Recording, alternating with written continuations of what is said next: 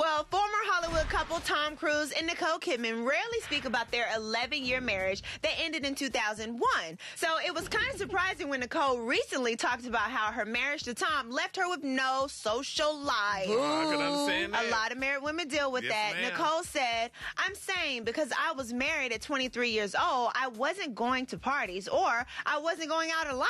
I was pretty much at home. I had my first child at 25 and I was married. I was in a family, so my sense of being in the world, I was working or I was at home. So, Yeah. guys, what think about this? Do you think that a lot of women tend to lose themselves as a mom and a wife? I mean, even if you become someone's boyfriend or girlfriend, you Yeah. lose yourself a little bit. Like Yeah. anytime you attach somebody of the opposite sex, Mm-hmm. your whole social life about to make a weird turn. Exactly. And hell, that's gonna happen to you, Porsha, in a minute.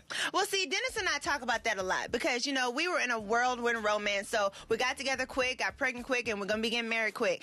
And we don't want to lose that dating part. We don't want to lose that fun with our Right. friends, going out, and we pay a lot of attention to that. To the fact that when we have kids, we want to have our support system set up so we can go out with our married friends or whoever. Yeah. Go out with our friends. You know what I'm saying? Well, yeah. let me tell you, your married friends are going to be so fun. And having a kid is going to make it really easy for you to go out and do things that you want to do. Shut up. Uh, I mean, like, man, you guys are going to be partying until like 9 All o'clock night and long. stuff. And uh, All night long. you are so your, sarcastic. your babysitter going to probably cancel on you sometimes. so you're saying man, everything that you want to do in life, do it now.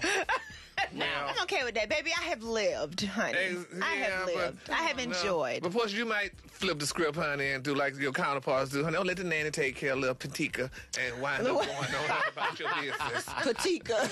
Used to be me at home. Mm-hmm. Dennis, when you coming back? Not crocheting a blanket. Yes.